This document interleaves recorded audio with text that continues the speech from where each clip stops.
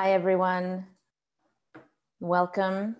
My name is Karen Cocq. I'm with the Migrant Workers Alliance for Change, a member organization of the Migrant Rights Network, um, cross-country coalition of migrant-led organizations. Um, and we are hosting this press conference today to talk about the new um, program Pathway to Permanent Residency that was announced by the federal government on April 14th.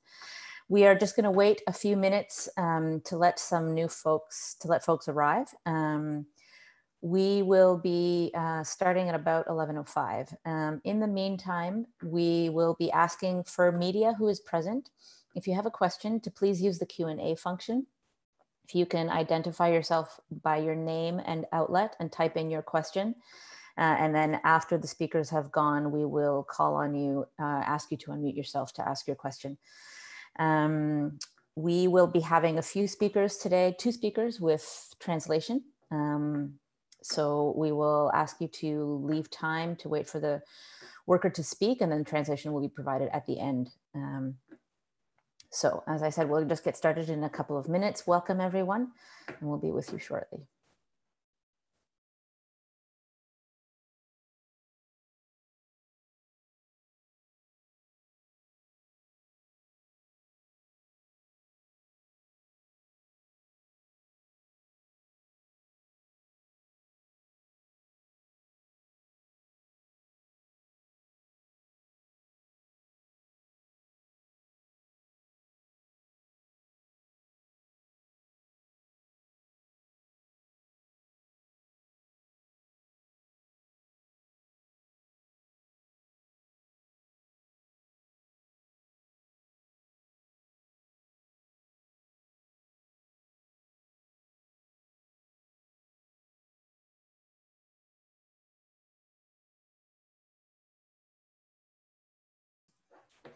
Hi, everyone. Welcome. Um, for those just arriving, we're just going to give another couple of minutes for other registered participants to arrive. Um, so we'll be starting in about two minutes. Um, for media who's arriving, um, we'll be uh, laying out the list of speakers just in a second. Um, and if you have any questions, we will be asking you to please put them in the Q&A, identifying yourself by name and uh, outlet. And we'll be starting in just a moment.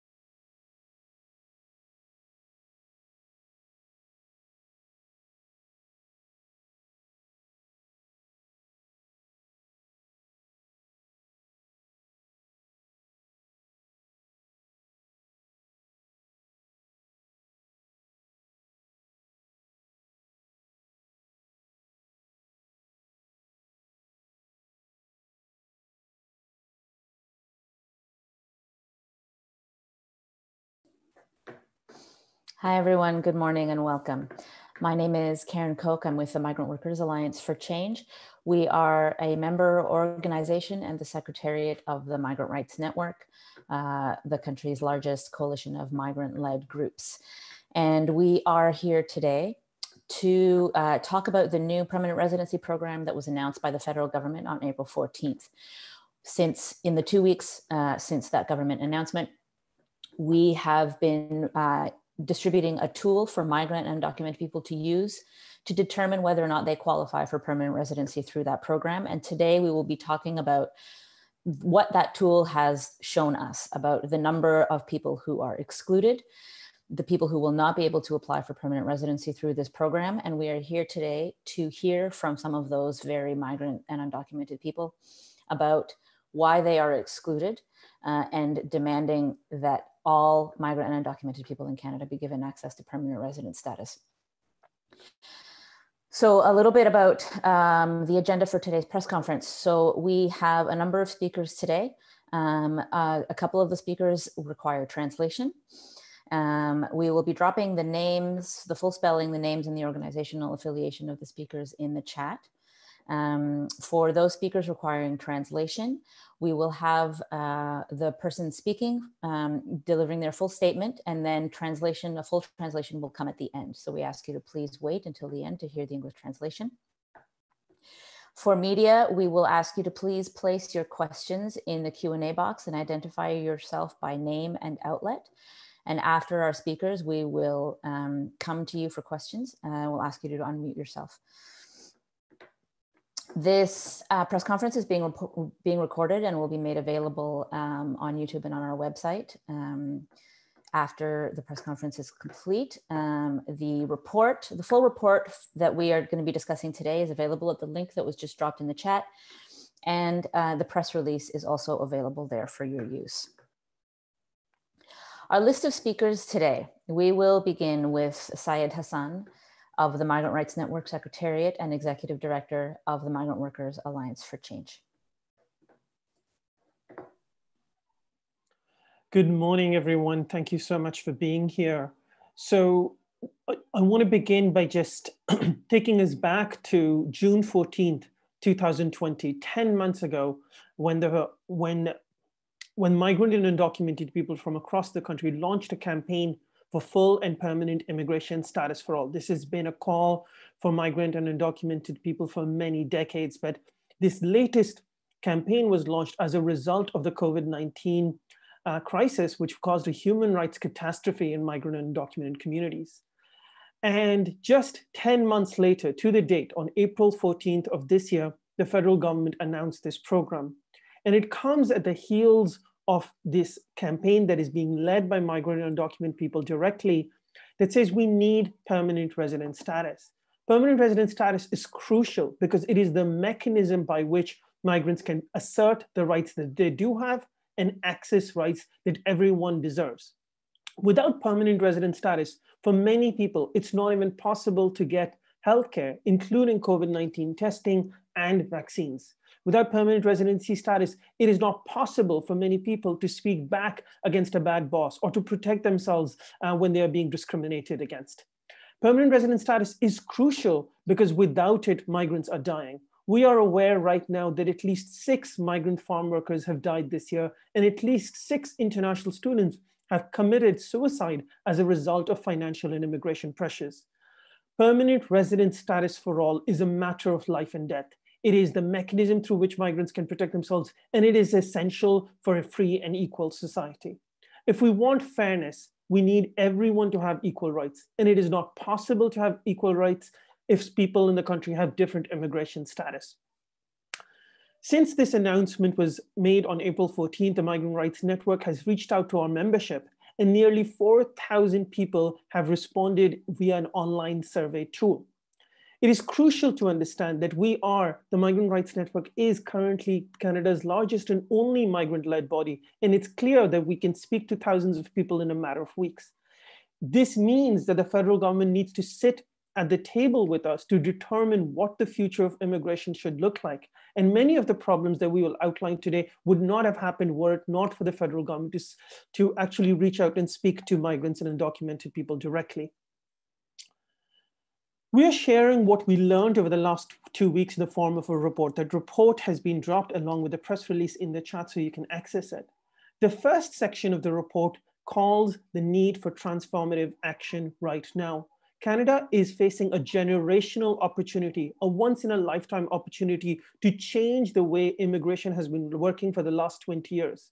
We have seen a 615% rise in temporary work permits over the last 20 years. We have seen this blooming and mushrooming of migrant and migrant undocumentedness that as a result, three times more people enter the country on temporary status than they do as permanent residents. Many of those people at one point or the other cannot renew their permits and become undocumented.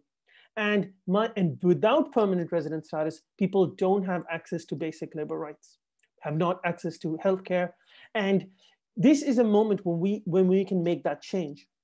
And what we need is a wholesale transformation, not this one-off short-term window that excludes many. The second section of the report details exclusion. The program that was announced on April 14th excludes directly all undocumented residents, all students, all refugees, and all temporary migrants in Quebec. That is together 1.18 million people that are immediately excluded who deserve and need permanent residence. These are essential members of our community. They deserve permanent residence to protect themselves. And if we do not provide permanent residence to everyone, then we do not ensure rights and protection for everyone. You can't have public health care when potentially one in 23 people don't have a health card or may not be able to access healthcare. You can't have minimum labor protections when one in 23 people can be exploited more by a boss. Also, this program excludes people on the basis of two for, of, of inadmissibility, which includes medical inadmissibility. That is, if you or anyone in your family is, is deemed too sick to be in Canada or too disabled, then you are not able to apply through this program. The program also excludes people on the basis of criminal inadmissibility. We know that many racialized people, particularly Black community, has been over-targeted and over-policed. Many people have criminal convictions for things like cannabis, which has since been de, um, decriminalized in the country and legalized in the country, but those charges will make it impossible for people to be able to uh, apply through this program.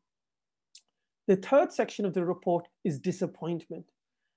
When this program was initially launched, there was this complete, there was this moment of belief that finally there would be a path for low wage workers, NOC C and D workers, as they're commonly known, to be able to apply for permanent resident status, which generally has not existed in the Canadian immigration system.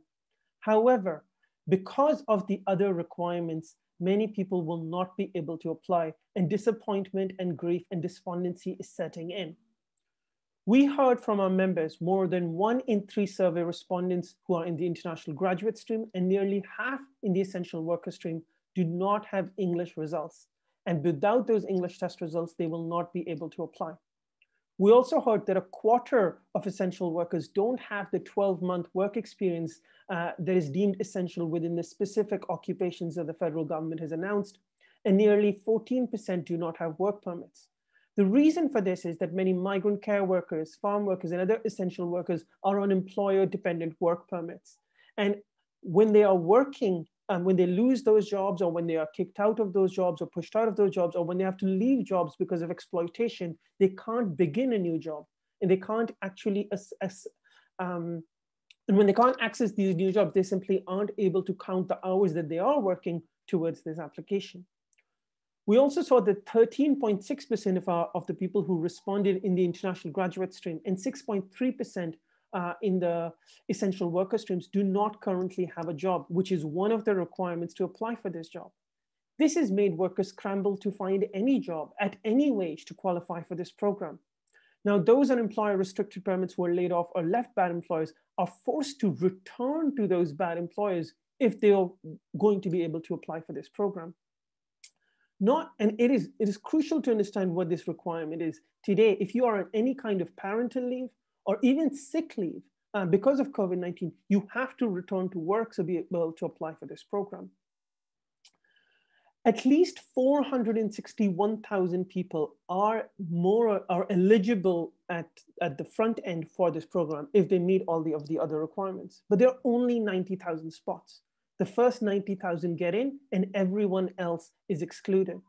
This has caused immense chaos, which is the final section of our report. As we show and as we outline, English test centers are closed. Uh, when this program was announced, in fact, the two major sites, IELTS and CELPIP websites crashed. And not only did they crash, um, there are too few appointments available, sometimes many months in the future. Now, many migrants, particularly farm workers, domestic workers, other low-wage workers, are living in employer-provided housing, employer-controlled housing, and can't leave those places to even go get a test. Those in rural communities have to travel long distances and can't take days off. Another form of chaos and exploitation that we're seeing is the, uh, is the immense power that employers have gained as a result of this announcement with the need for being currently in a job so crucial in showing how many people don't have uh, current employment and noting that racialized unemployment is at a historic high in Canada, migrants are willing to take any job at any pay just to be able to get permanent resident status. And because self-employment and gig work is also not excluded, people are forced to um, take jobs. This has resulted in uh, as I mentioned, migrant workers needing to return to bad jobs uh, that they may have left before. The regulations also require for an applicant to be in Canada. Now, Canada has closed its borders to many migrants, and flights are currently shut off to Mexico, Caribbean, India, and Pakistan. As a result, migrants who were visiting their families to take care of their health needs, or migrants who are abroad um, for some other reason and not able to return, are needing to travel multiple countries, uh, putting themselves at greater risk of COVID just to get to the country in time and paying huge sums of money to do so. This, of course, means that people who are from Western countries, where, places where the border is open, like the United States and Europe, have an unfair advantage in this program. Similarly, there has been no information provided by the federal government since the announcement on April 14th, which has seen a, a, massive explosion of unscrupulous immigration lawyers and consultants charging huge sums of fees that simply will not result in people getting permanent residence. And people are being ripped off because they are desperate. Now, these high fees is actually across the board. It, it will cost a minimum of $2,000 for a family of um, two parents and two children to apply. In addition, you will have to pay for an immigration consultant, medical fees, uh, and you'll need to potentially get police certification, renew your documents. Many low-wage workers simply do not have this money saved up um, for an announcement. And because you need to pay at the time you apply, people who don't have the money uh, are at an unfair disadvantage and people who do will be able to get to the front of the line. And this is a first come first serve program. Similarly, documents are required from, and these, do, and so for countries where COVID-19 has uh, caused a major catastrophe where bu government bureaucracies have shut down or embassies have shut down, renewing your documents or accessing them is much more difficult.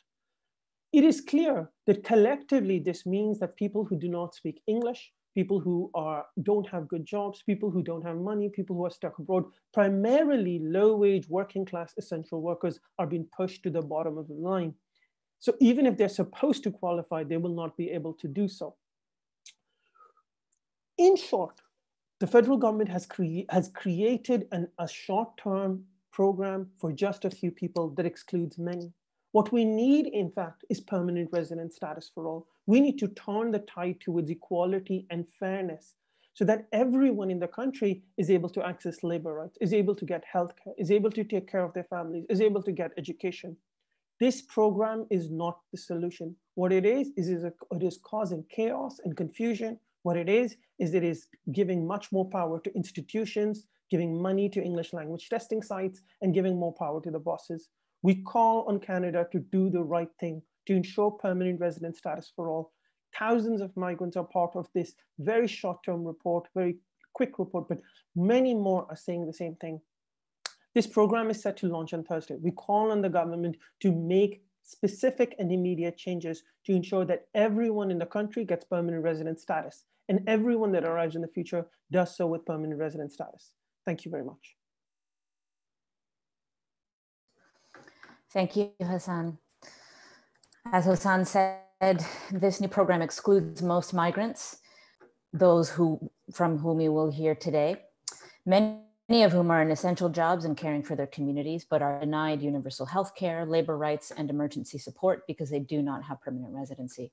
And worse still, this short-term and capped program with these extensive requirements has actually made the situation of inequality and abuse worse by putting migrant and undocumented people more at risk for exploitation by employers.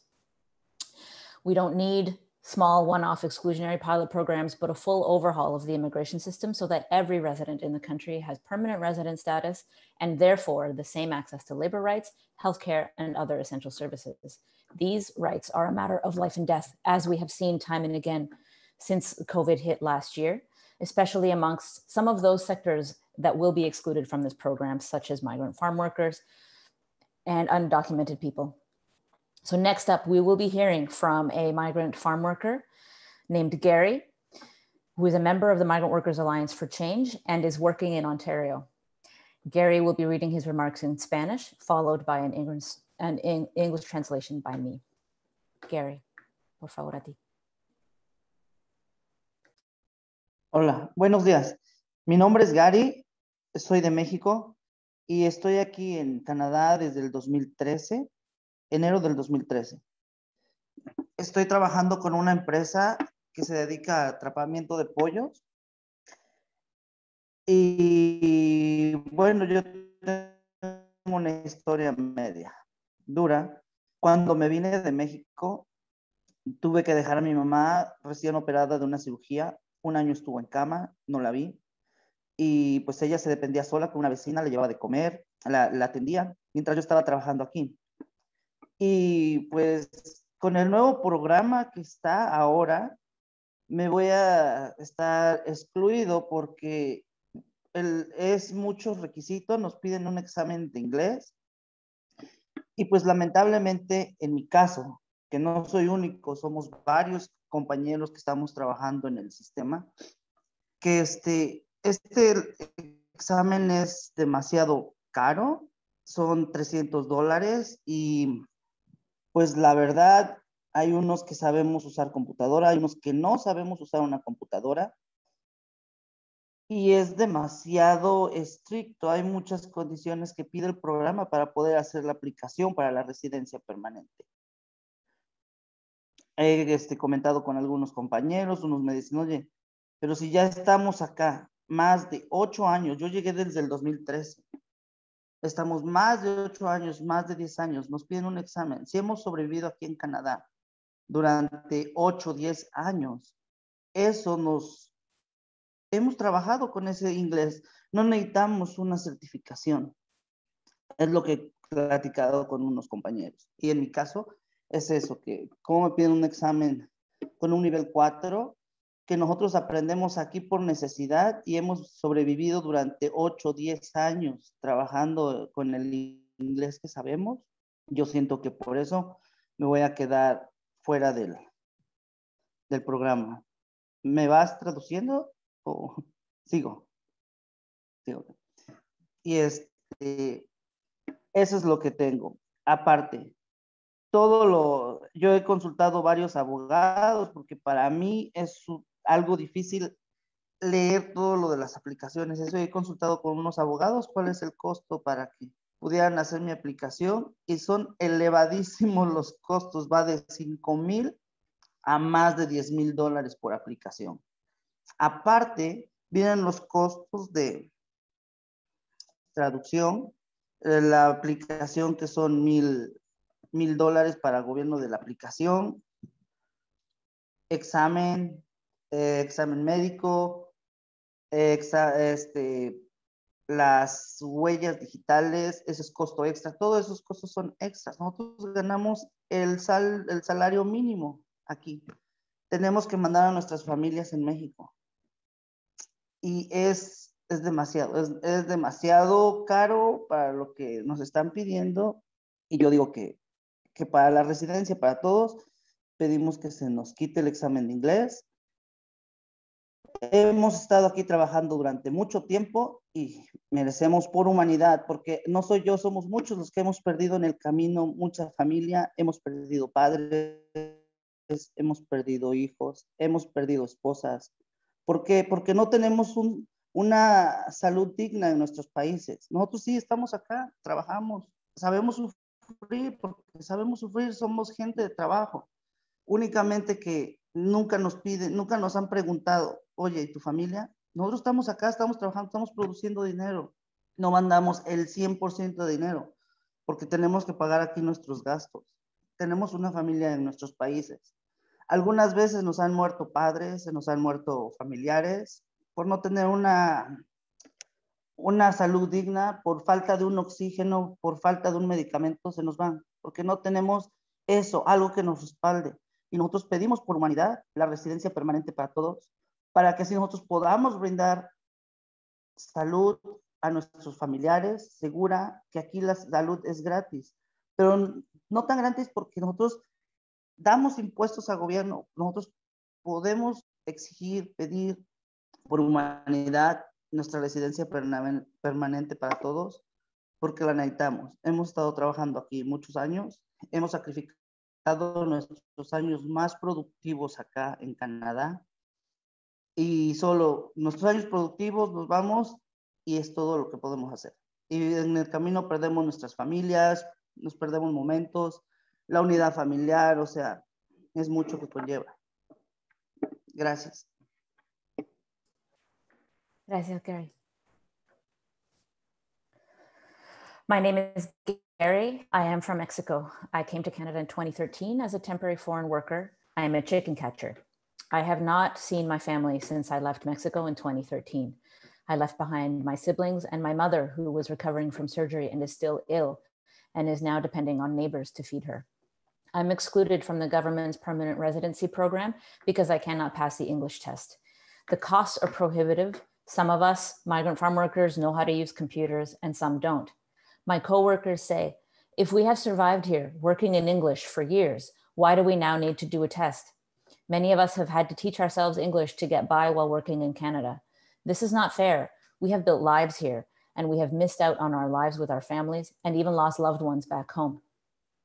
All the costs of applying, of applying to this program are barriers to us. The English test cost almost $300. The application costs over a thousand, plus getting documents translated, getting medical exams, paying for lawyers or legal help, some of whom are charging between $5,000 and $10,000. We make minimum wage here. This is impossible for us. We can't apply for this program or the agri-food pilot because the requirements exclude us. And it makes us even more dependent on employers because we need job offers to apply. We send money home to our families, but it's never enough since being here is expensive. And it doesn't only cost us money. We want to be with our families. Many of my coworkers have left partners and kids for years. Some have had to leave their wives behind while they are still pregnant. In these temporary programs, we can't complain because we are afraid. We cannot stand up for our rights because the employers always threaten us, saying they won't renew our contracts or that they will deport us. We are at the employer's disposal, and if we aren't, we get threatened. Because of our humanity, we deserve permanent residency status.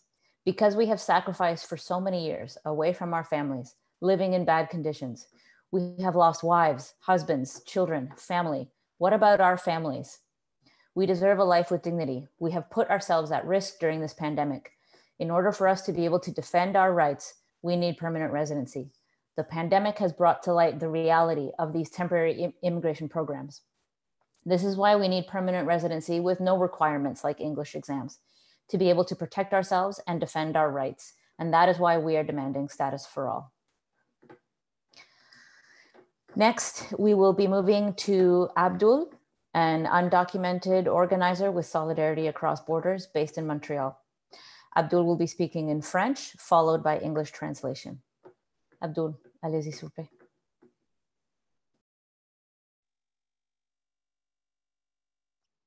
Bonjour tout le monde. Alors moi, c'est Abdul. Je suis membre de Solidarité sans frontières. Je suis exclu du programme, du nouveau programme simplifié à l'immigration car le le gouvernement de Justin Trudeau pense que nous, les sans-statut, nous ne méritons pas actuellement et ne sommes pas assez, disons, méritants de faire partie de ce programme. Et pourtant, on se lève tous les jours, les matins, qu'il fasse chaud ou qu'il fasse froid, pour aller travailler. Ce programme, pour moi, est très injuste, car il vient encore, en quelque sorte, creuser le fossé qui existe déjà entre les sans-statut et le reste de la population. Le gouvernement Trudeau a manqué à travers cette occasion de réparer toutes les injustices, toutes les souffrances, de restaurer la dignité des sans-statut. Alors, pour moi, tout le monde, je dis bien tout le monde, a droit à la dignité. Tout le monde a droit de se loger de façon convenable. Tout le monde a droit de se soigner, et cela quelles que soient les origines ou le statut de la personne. Nous avons vu qu'avec l'arrivée de la pandémie, les sans-statut ont connu de, d'énormes difficultés, notamment pour se loger, pour se vêtir, puis le gouvernement de M. Trudeau avait l'occasion, à travers ce programme, d'inclure tout le monde et de venir corriger ces problèmes. Je suis arrivé ici Canada en 2015 pour des études et après, j'ai perdu mon statut.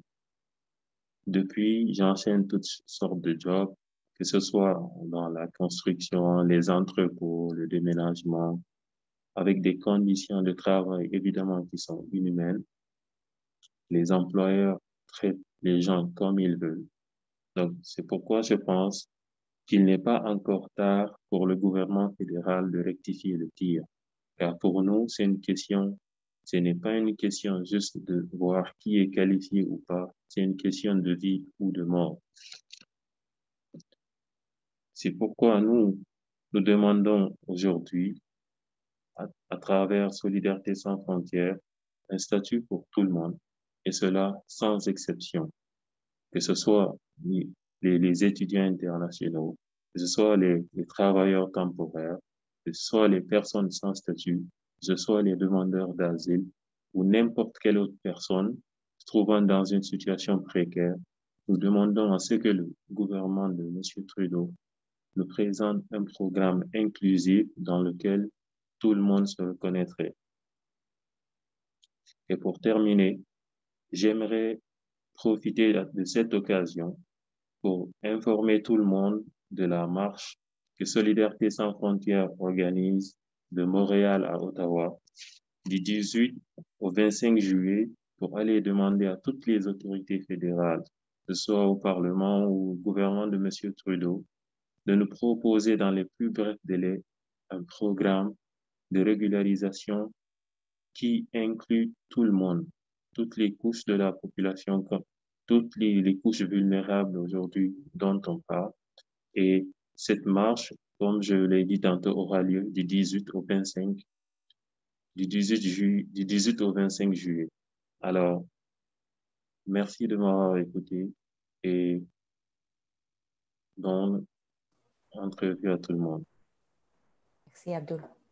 Fred. Okay, thanks Abdul. I'm just gonna uh, briefly translate. Um, so Abdul says, hi, everyone, my name is Abdul. Uh, I'm, a, I'm a member of Solidarity Across Borders uh, in Montreal, and I am a non-status person. I'm excluded from the program because the Trudeau government doesn't think that people without papers deserve uh, regular status and regularization. But we wake up every morning like everyone else when it's cold and when it's hot and go to work.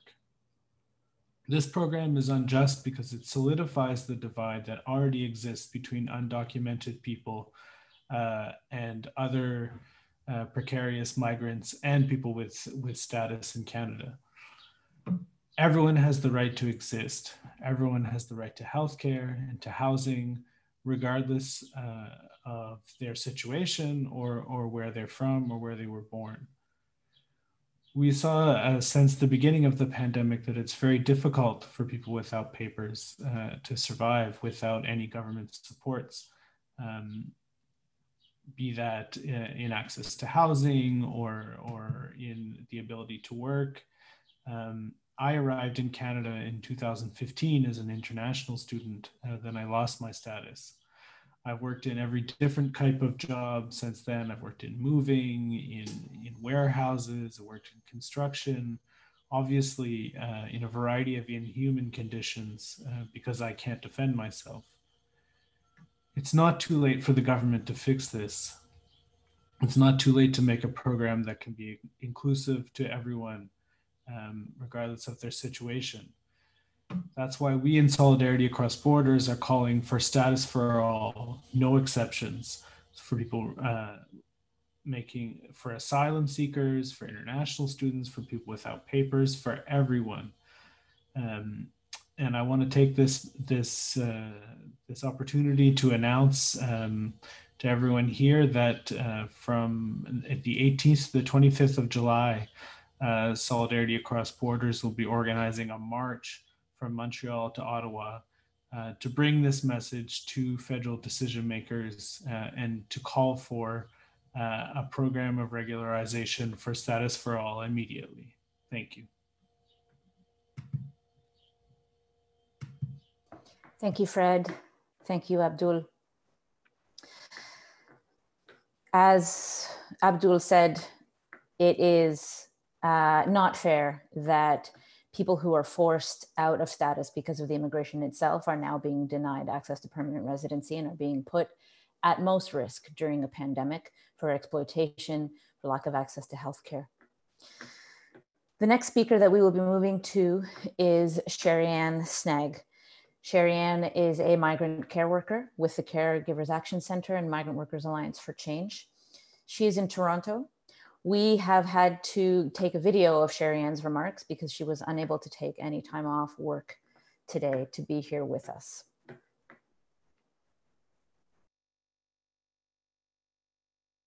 My name is Sherry-Ann Snag. I came to Canada as a live-in caregiver, and I am excluded from the new PR program simply because of an English exam. This is unfair because I'm coming from an English speaking country and English is the only language I speak. It is the only language I use to communicate with the children I take care of and the employers I work for. But why does it matter what language we speak anyway? English is not a requirement to get a job. We are getting employment and are working very hard, regardless of what language we, we come into this country with. We are making contributions to this country and have been since we arrived. The only thing we don't have is our freedom. And the only way for all of us to be free is to have permanent residency status. When I first arrived in Canada in 2017, I was eager to work hard to meet the requirements to get permanent residency and have my family join me. I worked hard. Many times I did extra work in the evenings and weekends for no overtime pay. I was never paid public holiday pay. When my employers traveled, I would travel with them so that they could have fun on their vacation. While they vacationed, I worked and I worked diligently. I raised their two children like they were my own because I was part of the family. But then I got sick. I got sick during the lockdown and was unable to work. While on my sick bed, I was called up and told that my services were no longer needed and had to leave immediately that afternoon. I was a live-in caregiver, so I had nowhere to go. I was homeless, and also I had a closed work permit. And so I lost the benefits that came with it, such as healthcare, income, housing, and financial security for myself and my family back home. Since losing my job, it's been very hard. I've been searching for a job, trying to find an employer to sponsor me so that I can finish the three months needed to complete my 24 months for PR under the Home Child Care Provider pilot program. But just this past week, the cap for this PR program was reached, which means another door has been closed for me and my fellow care workers. My only chance of getting PR is through this new pathway program. Without permanent residency status, you are pushed around. You are pushed around by employers and by the government. If they are giving us something, just give it. But don't give it and say, but you need all of this. Don't give it with restrictions and limitations. We are all here and we are working hard and deserve to be treated as human beings with human rights. In a time like this, with a country on lockdown, it is impossible to book an exam before the new program commences. And this is putting a lot of us in a very hopeless position. It is also disheartening to our families who are sacrificing the joy and comfort of not having us around as we search for a better life. And every time that better life is escaping our grasp. why do I have to do an English exam to be reunited with my children? Why do I have to do an English exam to get basic human rights? This is discrimination and exploitation. I join with my fellow migrants to demand status for all now.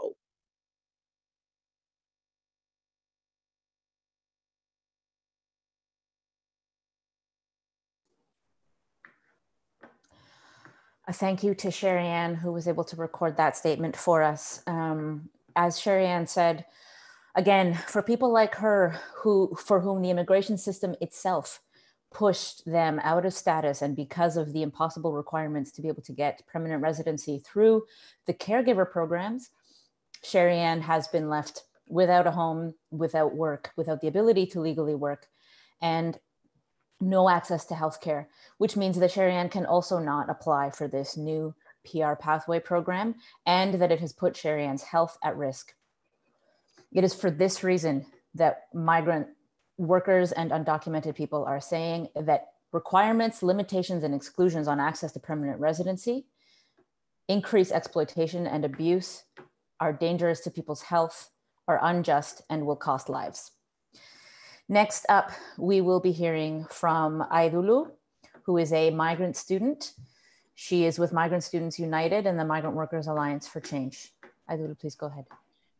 Thank you. Hello, everyone. Uh, my name is Aidulu. I'm a member of uh, Member Student United, as Karen said. I'm a former international student who is now on a postgraduate uh, work permit. Uh, I graduated uh, from a one-year certificate program at uh, George Brown College in Toronto.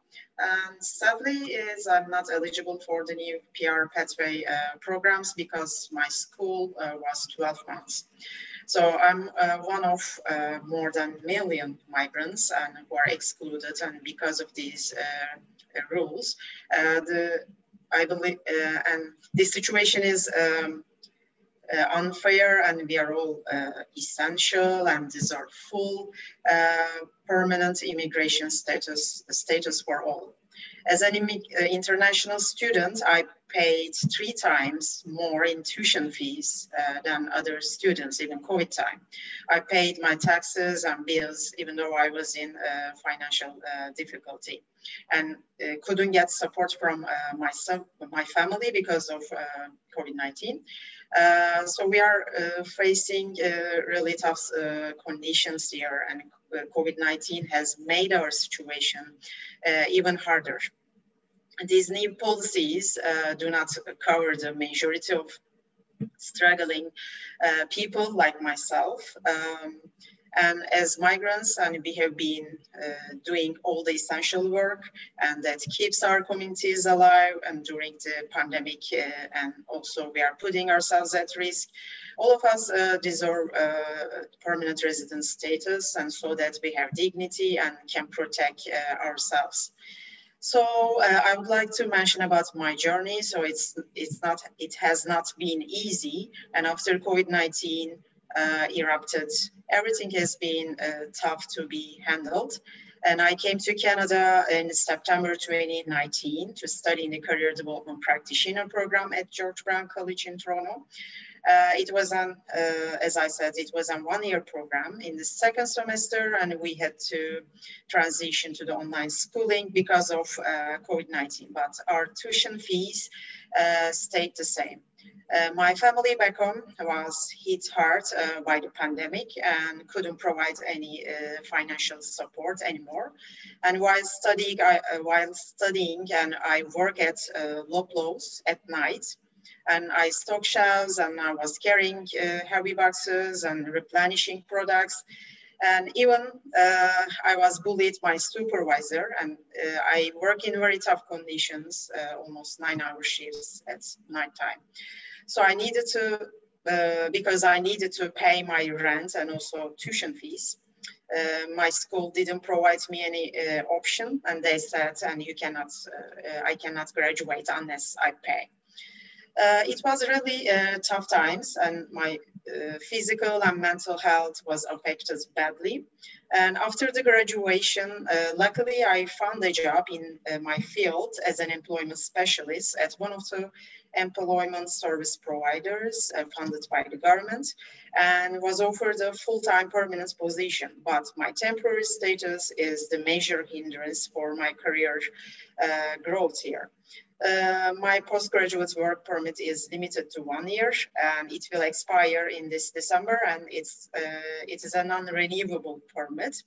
And these are the impossible uh, conditions that migrants uh, like me and have to face. So it doesn't have to be uh, like this. And so that's why we are calling for the government to expand uh, new program and ensure permanent resident status for all of us. Um, we will always um, speak up and look for our rights uh, we deserve like others. So yeah, I would, uh, I wanted to share my uh, story. Thank you for pro providing a space and to share my story. Thank you. Thank you, Aidalu.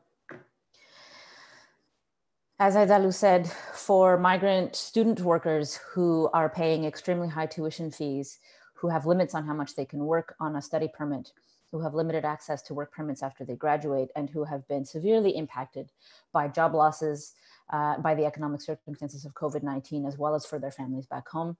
The situation is dire and makes it very difficult for them to be able to access PR through this current program. In addition, the situation is just as bad, if not worse, for students who returned home during the pandemic uh, to study online remotely and who are now, because of border closures and travel restrictions, have not been able to return and will not be able to apply for the program because a person must be in Canada to be able to do so.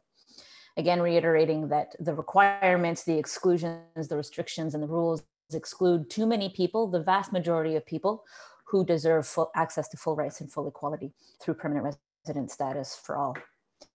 Our next speaker will be Lisa. Lisa is a refugee. She is a member of Butterfly, Asian and Migrant Sex Worker Support Network in Toronto.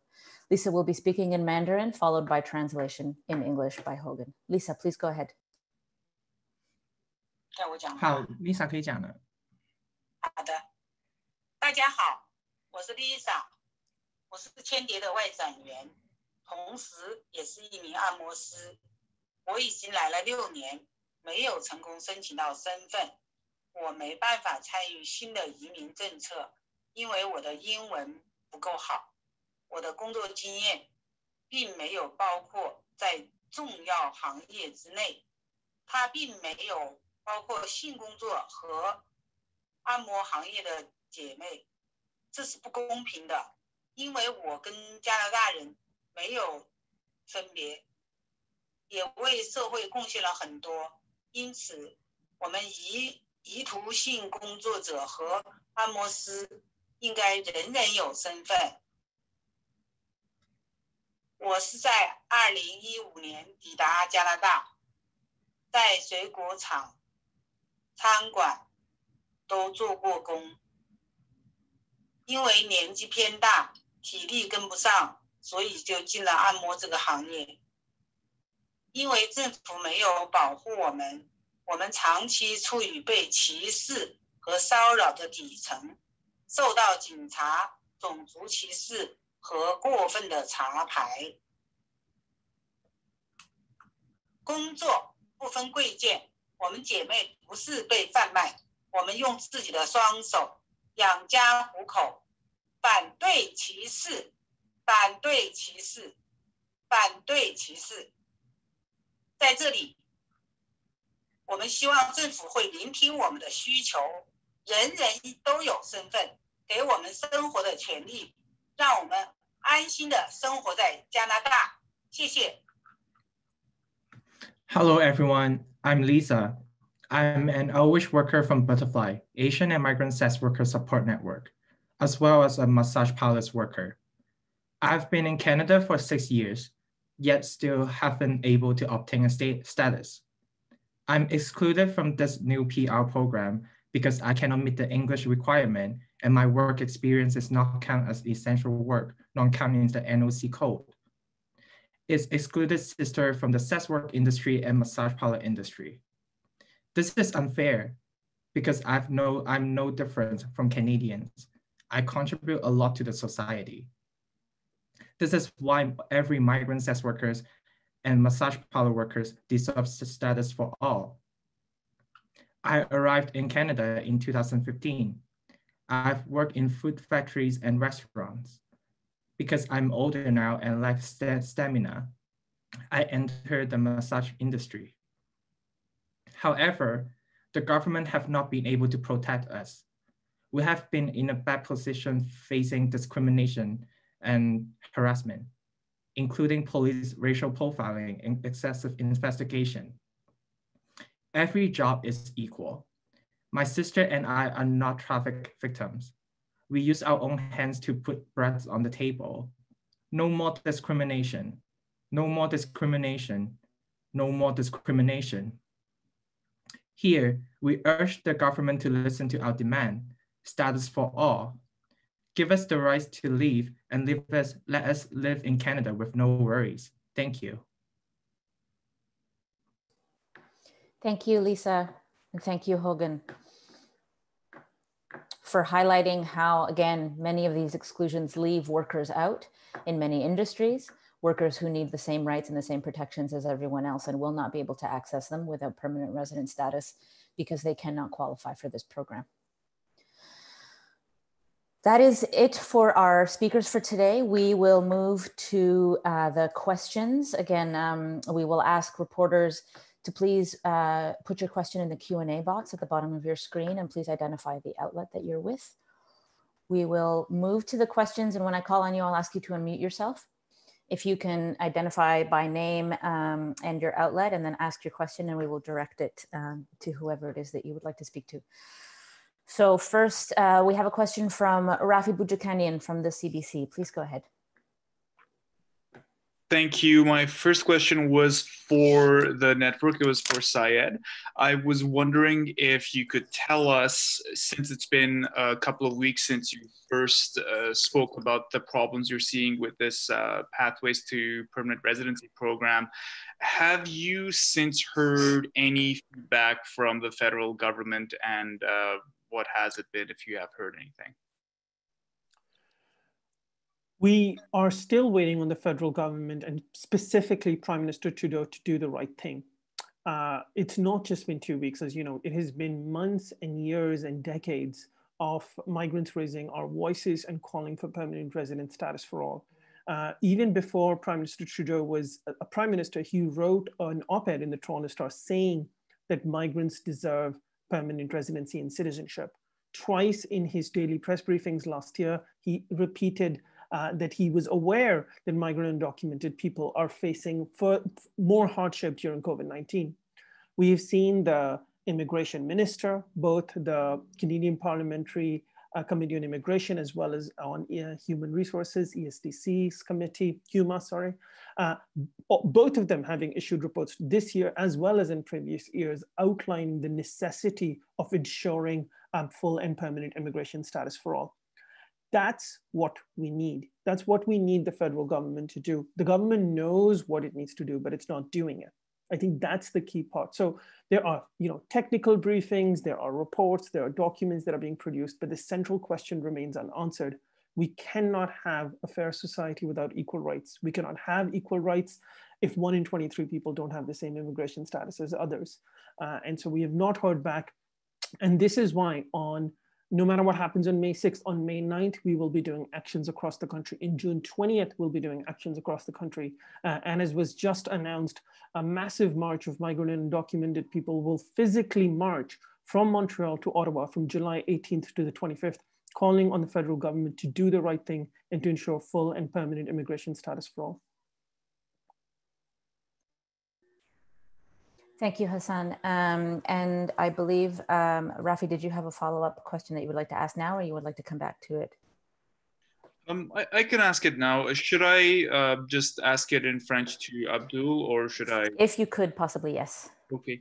So um, it was a bit of a long question and a two-part one. So um, I, I, don't know if it's possible to maybe ask Abdul the, the second part again. Um, but what I had asked was if he could describe some of the conditions to which he was subjected to in his work, as he had uh, said that they were inhumane uh, in his initial talk to us. And I had also asked him if he's if he's able to tell us why particularly he didn't qualify for the program. and, and that part might have been lost. Okay, we'll move to the English translation and then um, maybe at the end of the press conference, we can arrange for you to speak directly with Abdul around to clarify that second one. Okay, Fred, you. please go ahead. Okay, uh, great. Um, so Abdul was saying um, that uh, he has hundreds of examples um, of of, of jobs he's worked in where he's been exploited or where others around him have been exploited. Um, he gave a few different examples. One was uh, in working in construction, climbing up ladders that were more than 30 feet high without any protection, uh, without any sort of safety gear, uh, including uh, a work accident in which he fell off one of those ladders um, and injured his foot seriously. Uh, but of course, because he doesn't have the right to health care as, a, as an undocumented person or uh, insurance or uh, any protections, he, uh, he had to go to work anyway. Um, and he wanted to outline that it's not just because we're in a pandemic that the situation of people without papers, so undocumented uh, workers here in Canada, uh, is difficult. Um, that in fact this has been the case for uh, for many many years. People like him working uh, working hard in difficult conditions uh, in the Canadian economy uh, and that employers generally take advantage of this uh, in order to be able to pay people less than minimum wage uh, and to not have to kind of guarantee their their working conditions. Um, so Abdul's response to uh, I think the second part of the question was in, you know it's not just my situation it's in fact it's a situation of mass exploitation um, creating a, a, a, class of, of workers who are who are uh, exploited even more intensely uh, than others in Canada uh, for the benefit of employers, and therefore that the, the Trudeau government needs to find uh, an inclusive situation and a program that can respond to everybody's needs in Canada. Thank you, Fred. For the next question, we will move to Palak Mangat. Please unmute yourself and go ahead and ask your question and identify your outlet, please. Hi, can you hear me okay? Yes, go ahead. Yeah, okay, thank you. Um, so I just wanted to ask um, about the sort of the ambition of the program that was announced itself earlier versus the reality, which uh, there seems to be a distinction between. Um, I'm curious in, you know, based off the based off this report and um, and the and, and the network's, um, I guess, ongoing work, uh, you know that this program was initially framed as being inc more inclusive than uh, previous efforts have, have been have been i guess. Um, so i just want to be clear um, you know is that is that distinction how significant is that distinction between you know this is what this is what was um, the way that the program was framed by the feds versus this is the reality? Um, and then i just had a more technical question around the um, around potential costs. I think it was i don't quite remember but i think i heard costs around uh, you know it, it, varies, but there's 300, for example, for to take an uh, take an English test. Um, I'm just wondering. I know it varies probably dramatically on the person's person like a personal situation, but I'm curious whether the network has any rough ballpark um, or any work in that vein. Thank you. Um, thank you. So I'll, I'll respond to the two questions in order. So on the question of is this program inclusive? So as we began and we outlined 1.18 million people at the onset, which are all refugees, all undocumented people, all students and all temporary residents from Quebec are simply excluded um, at the first step. But then in addition, yes, the program is supposed to be accessible to uh, low wage workers, for, which generally does not happen, which is that all migrant and undocumented people who, sorry, for which is um, low wage workers. So that's the National Occupation Classification COD. Uh, however, the way the rest of the programs can, can um, is developed, which is the requirement for the English test, which as you heard is uh, impossible for most, and most, as we saw, more than half of um, the people who filled out our survey or who were in touch with don't have those results.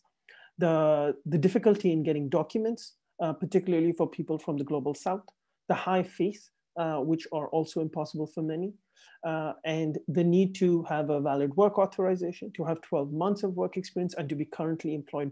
Collectively, these rules and regulations means that the lowest wage working class people, particularly those who don't speak English or French, living in rural communities, uh, etc., are will, will not be able to apply. And so again, uh, what we see is that it does not include those who are most excluded from our communities, those who are made most vulnerable by Canadian immigration and labor laws. Uh, and so this characterization of this, you know, initially, for example, the healthcare specific program actually, what we know now is that maybe 3,000 people will be able to apply through it, right? So when the rules are created and they get smaller and smaller, too many people are excluded uh, from, and you heard from many of them today. That is why we are calling for a completely different approach. We don't want a piecemeal program with a myriad uh, confounding and confusing and impossible to meet requirements uh, with a short window on a first come first serve basis. We need to transform our immigration system to ensure full and permanent resident status for everyone in the country at once. And then so everyone who arrives in the future does so with permanent resident status so that we're not in this place again a few years down the road. Because what's happening is the opposite. Each year, more people enter the country on a temporary basis. You know, uh, just even in the last five years, there has been a massive ups, um, upsurge, as I said, 615% of in-work permits in the last 18 years. But study permits, refugee denials is even higher. Now, in terms of the costs associated, the details of the fees have not been announced, but for a two-person family, uh, so two parents and two children, uh, we it's going to cost $2,095 just for application fees. That's the normal um, price, and that's part of one of the things, you know, Canada charges a so-called right of landing fee, which is something that has existed for a hundred years. It was created after the Chinese railroad workers were in this country and were, um, and this thing was created simply to create a financial burden for those migrants to not be able to live in the country permanently. That is a dark history uh, that people are always talking about, but it's actually continuing through this right of landing fee, which is, uh, which makes it so expensive. In addition, uh, if you were to take an English test, uh, it would be $300 or more, depending on where you applied. And then uh, application fees, um, sorry, um, getting your passports renewed or any other police certificates, they would all be extra costs on top. But I just want to say that's what we are guesstimating because the federal government is going to announce the actual program, sorry, not announce, launch the actual program on Thursday, which is when we'll know. So there is still time there's time for the federal government to waive the fees. There is time for the federal government to say you don't need uh, English language requirements, or that at least you don't need it on the day you apply. There is time for the government to take away the need for uh, a valid status in the country or work authorization or to be working. And there's time to include people in Quebec and students and undocumented people. Uh, but if it does not happen on Thursday, as I said before, we will continue to call for what is fair and just, not just for migrants, but to ensure that everyone in the country is able to access and assert the rights that they do have. Thank you, Hussan. Uh, next, we will move to uh, Elvis Nuemsi Njike from Radio-Canada. Elvis, go ahead.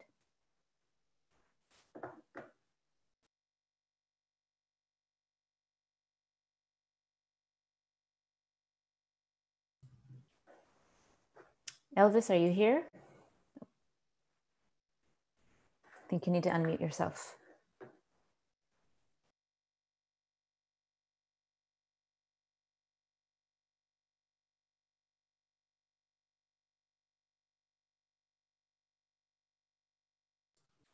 Elvis, go ahead.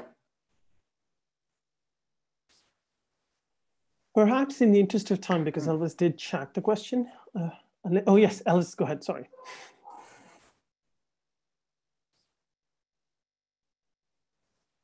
No, we're not able to hear um, Elvis. Okay, so we will move on to uh, the next question uh, is from Oriel Salvador. Please go ahead.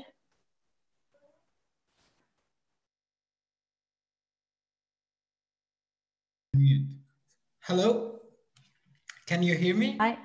Yes, we can. Go ahead. Good, thank you. So my question is, and in regards to the seasonal agriculture pro, um, worker program, I know this program is temporary in its essence, so it might not relate to the other um, cases we talked about it today, but we talked about the benefits of a permanent resident status in terms of access to healthcare, not being attached to a work permit, to a closed work permit. So this new program, how does it affect migrant workers who come to Canada through this seasonal agriculture worker program? And eventually seek to become permanent residents here. Thank you, Oriel. Um, I will pass this question on to Gary, um, and I'll just translate the question into Spanish for him first. But I'll add uh, before I do that that um, the uh, the fact of being a seasonal worker in the country does not in and of itself exclude someone from applying to this program um, because it is a cumulative one year of work experience over the past three years. But as Gary outlined in his comments earlier, and will probably say again, it is all of the other barriers that effectively exclude migrant farm workers from being able to apply through this program. So I'll let him respond to those concerns. Gary, um, si estás ahí? I if I'm not still muted, I, I, I'm from Spain, so I can make the question. Oh, okay. Go ahead. Okay. Hola, Gary. Pues Hola. Mi, pregu mi, pregunta era que este nuevo programa del que estamos hablando hoy, ¿cómo uh -huh. afecta a las personas que vienen a Canadá con el Seasonal Agriculture Worker Program? Si le, le, les afecta positivamente, les da más opciones a conseguir el permiso, el residente permanente o siguen habiendo trabas? Muchas Mira, gracias. Sigue habiendo, habiendo trabas, principalmente por lo del examen de inglés, como les comenté, difícil porque para no tener ningún estudio básico, primaria, no nos piden que estemos este, preparados. Y cuando venimos acá y queremos aplicar ahorita con el nuevo programa, nos piden una prueba de inglés con nivel 4. Habemos unos que sabemos usar la computadora y, y podemos hacer el examen, pero hay mucha gente que no tiene ni idea cómo usar una computadora. Y es contradictorio, ¿no? Nos piden no venir preparados para ser trabajadores agrícolas y nos piden un examen en nivel 4. Hay mucha gente aquí en Canadá y en México, me imagino, que saben hablar, saben escuchar, y saben expresarse, pero gente no sabe escribir, no sabe leer. Pero eso es un, un, pro, un problema para todos nosotros los trabajadores, por ejemplo, para mí, que el examen está súper costoso, 300 dólares, y pues nos piden un nivel 4 y ya hemos estado aquí 8, 10, hay compañeros de más de 10 años trabajando bajo el sistema, bajo el programa de México para venirse a trabajar acá, o guatemaltecos, o gente latina, y se nos hace difícil conseguir el examen nivel 4.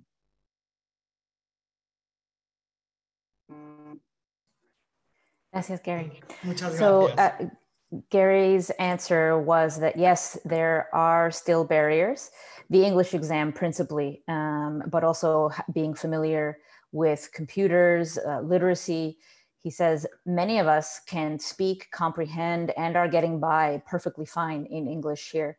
Uh, we came here to work as farm workers and we were not required to have high level of English uh, or to pass a test before we came. But writing and reading is difficult for many of us. In addition, the test is very expensive for most of us working minimum wage. The CLB level four, which is the English level that is required to be able to apply for this program, is too hard, even for those of us who have been here for eight or 10 years. And that's why it's important that they remove requirements like this so that they don't exclude people like us. Next, we will move to um, the next person on the list is, I believe, uh, Krista from Elvis, Global News. Oh, sorry. Oh, Elvis chatted and he wanted the answer to the question, so I thought I would Go just ahead. answer it. Go ahead. Um, okay, so the question was, what do we know about the migrant workers who have died this year? Can we have more details? So what we know is that a number of workers have passed away in quarantine since the beginning of the year, some from heart attacks, others from reasons that we are not aware of. Uh, in some cases, autopsies have taken place. In some cases, uh, they have not. Uh, and this is part and parcel of what the federal immigration system is that migrant workers in particular keep dying. Uh, and there is rarely uh, any investigation. There is never a coroner's inquest. Uh, it's unclear if they had adequate access to healthcare. So we will be making more announcements and details once we've talked to the family and connected with them. I also spoke about international students who've committed suicide as a result of uh, financial and immigration pressures. This again is a constant issue. Uh, six this year, but many more in the years previous. Migrant and undocumented people in the country, uh, because of COVID, because of the labor conditions, because of financial pressures, because of immigration pressures, are losing their lives. And we need the federal government to do the right thing to ensure a level playing field so that each and every one of us has the same access to livelihood and life as everybody else. And that means each and every one of us must have the same permanent immigration status. Thank you. Okay, thank you. So with that, um, it is 1216. We've gone a little bit over time. Uh, um, and we have uh, a number of uh, people who, uh, workers who have to go and have to get back to work. So we believe we've answered all the questions. There are um, a couple that we have answered in the Q&A function specifically. Um, so please, if you want to check uh, that your uh, questions have been answered there. And we've also provided an opportunity for follow-up for some people who um, wish to speak to some of the people who spoke uh, on our press conference today and get access to other resources and information that we've been putting out around issues of permanent status and COVID um, and vaccines. So again, I want to say a thank you uh, to all of the media who came out and to all of our speakers, to Hussan, to Gary, to Abdul, Sherry-Ann, and Aidulu, and Lisa. Again, in the chat, we have dropped uh, the links to the report uh, and to the press release. If anyone has any further questions, you can get in touch with us at the contact information on the press release and we can arrange follow-up interviews after this. Thank you very much to everyone for coming today.